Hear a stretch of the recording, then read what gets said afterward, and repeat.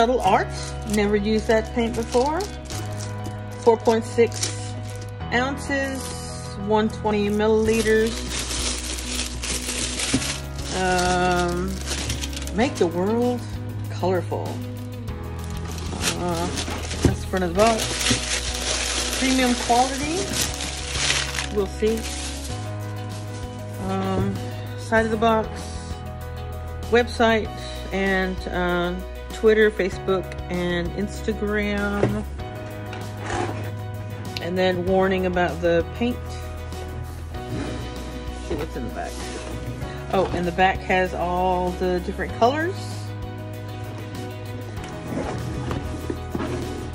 Let's see. Oh, and I moved into my new apartment. Uh, I live in Lower Nob Hill now. Um, it's nice. It's loud. There's a lot of construction, a lot of traffic, but it's small but nice. Let's see. So here are the paints. It's pretty good sized. Um, bright green, green, white, orange. These look pretty good.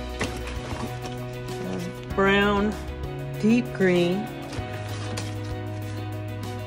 yellow ochre, and lemon.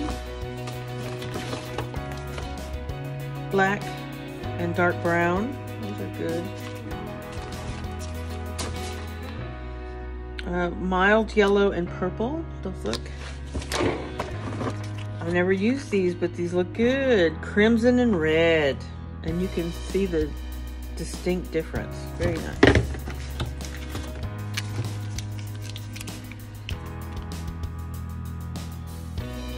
Faflo, Fafalo blue and deep pink. And I'm sure somebody can pronounce that better than I. Um, ultramarine and sky blue. Look how pretty. Very nice. And I love the new tubes they come in. Or I've never used these tubes. I always get them in regular old, regular old tubes. You know, like, like these little tiny things. You know, I get big ones, little ones, but I've never gotten them like this before. And squeeze. Ooh, look. Very nice. Very nice.